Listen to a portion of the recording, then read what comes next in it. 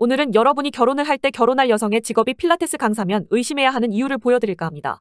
일단 필라테스가 전문적이고 체계적으로 육성되는 전문 인력인 줄 아는 분들이 있는데 필라테스 강사 아무나 한다 돈만 내면 자격증 바로 나옴이라는 질문에 답을 하는 실제 현직 필테 강사들의 이야기를 보겠습니다. 정말 맞는 말이다 아무나 개나 소나 할 수 있는 게 필라테스다. 지금은 필라테스 지도자의 진입 장벽이 너무 낮아졌다. 돈만 주면 주는 자격증이라는 말을 듣는데 화가 나면서도 맞는 말이라 어쩔 수가 없다. 같은 소리를 하면서 필라테스 강사들도 인정하는 게 바로 필라테스는 개나 소나 한다는 겁니다. 자 그리고 실제 필라테스 강사가 꿈인 여자들이 얼마나 대가리 비었는지도 한번 보여드리죠. 필라테스 강사에 관심 있으면 필라테스를 배워보는 게 먼저겠지? 라는 놀라운 글을 보시죠. 필라테스를 한 번도 배워보지 않은 여자가 필라테스 강사를 하기 전에 먼저 배우는 게 낫냐고 물어볼 정도로 그냥 개나 소나 필라테스 해볼까라고 뛰어드는 걸 우리는 알 수가 있습니다. 필라테스 집 가까운 데서 한번 무료 체험받고 자격증 취득하려 협회 가려고 라는 식의 진지한 그녀의 고민을 보고 있자니 얼마나 필라테스 강사가 되는 게 쉬운지 알 수 있지 않습니까?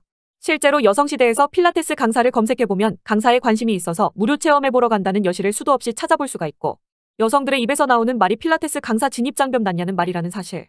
아는 여자 전공도 다른 쪽이고 평소에 운동 관심도 없었는데 필라테스 강사 됐다 이거 뭐지? 어 맞아 동네 일진 여자들 다 필라테스 하고 있어. 라는 식으로 같은 여성들도 인정하는 게 필라테스는 개나 소나 하는 직업이라는 거죠. 실제로 내 친구 분점 4개 있는 필라테스샵 원장인데 강사는 존나 예쁘면 된다 개나 소나 하면 됨. 이라고 현직 근무자도 필라테스 강사는 개나 소나 한다고 인증을 해주고 있습니다. 그런데도 뭐 어쩌고 필라테스 자격증 따는 게 어렵다 아무나 주지 않는다 이 염병을 떨고 있는 게 참 어이가 없을 따름이죠. 그리고 그런 필라테스 하는 여자들의 최종 tech tree가 뭔지 아십니까?